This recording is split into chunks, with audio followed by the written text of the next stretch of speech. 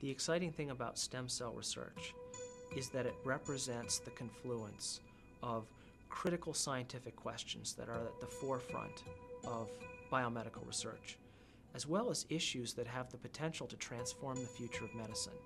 And what those of us who are engaged in medical research every day, what we really go to bed dreaming about is discovering something that saves people's lives. Embryonic stem cells are derived uh, very early in development when the embryo is the size of a pinhead, about four days old. It's just a ball of cells, and they're derived from what's called the inner cell mass. And these are generally embryos that are excess to requirement in fertilization clinics, IVF clinics. Uh, the embryos can be isolated, um, the inner cell mass removed, and within that tiny piece of tissue are embryonic stem cells. And it, essentially, they're an artifact. Uh, they don't exist in real life. Uh, normally, those cells would develop into the different tissues of the body. But once you pull them out and put them in the dish, those cells can be expanded almost indefinitely.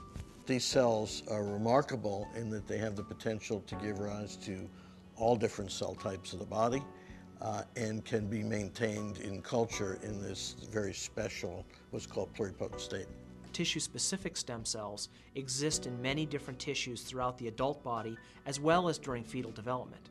So you have stem cells in your bone marrow that make new types of blood cells every day, stem cells in your skin that make new skin cells, stem cells in your brain that make new brain cells. Even though there are many types of adult stem cells, Work on embryonic stem cells is still important because embryonic stem cells can do two kinds of things that adult stem cells can't do. Juvenile or type 1 diabetes is a disease that's actually highly amenable to stem cell therapy.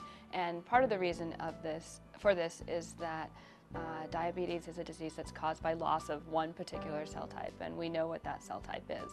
And we actually know from clinical studies of islet transplantation that if you can replace that cell type, you can restore insulin secretion, which is what's lacking in diabetics. Embryonic stem cells are capable of making any cell in the body, and so if we could coax them to make new beta cells, which are the cells that are lacking in type 1 diabetes, then we could use those embryonic stem cell generated beta cells as replacement cells. Parkinson's disease involves a loss of a specific type of cell in the brain in, in, the early stages called a dopamine neuron. As the disease progresses, as you lose more and more of these dopamine neurons, the symptoms get worse and worse. The only cell type out there that can make a real dopamine neuron that's lost in Parkinson's disease uh, is the embryonic stem cell. And so adult cells, while they're interesting, uh, can do many different things. Making dopamine neurons is probably not one of their, uh, the possibilities that adult stem cells hold uh, for neurological illness. And clearly, you know, all of this knowledge will eventually be put in place uh, to develop technologies. The more we know about the basic biology of stem cells, the better our therapeutic, our therapeutic approaches will be. Nearly every family is touched in some way by devastating diseases like juvenile diabetes or Parkinson's or Alzheimer's, cancer, or debilitating spinal cord injuries that often result in paralysis. Embryonic stem cell research is giving hope to millions of these families. My family and everyone had been told I would never walk again. That was just a thought that didn't even cross my mind.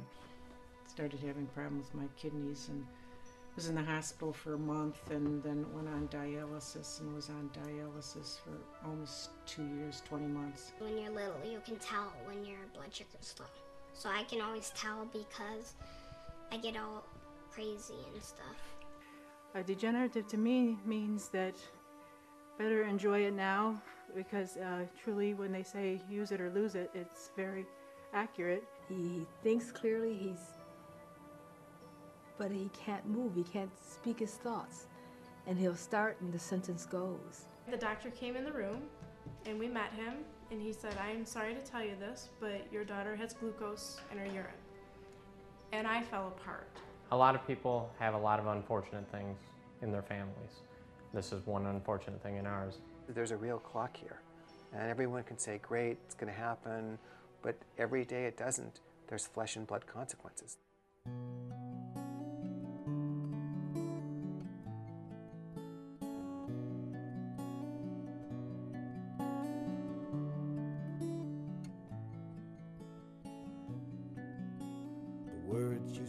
So easy. I could reach out and touch the sun. Now my back is sore and I can't stand up. I'm ready for the cure to come. I'm tired of the wait for the waiting. Can't shake it out of my mind. Waiting for nothing to happen. I've been beginning to run out of time. Come on, we need to get going. There's so much more we can do. Life is for the living, and my life is worth living too.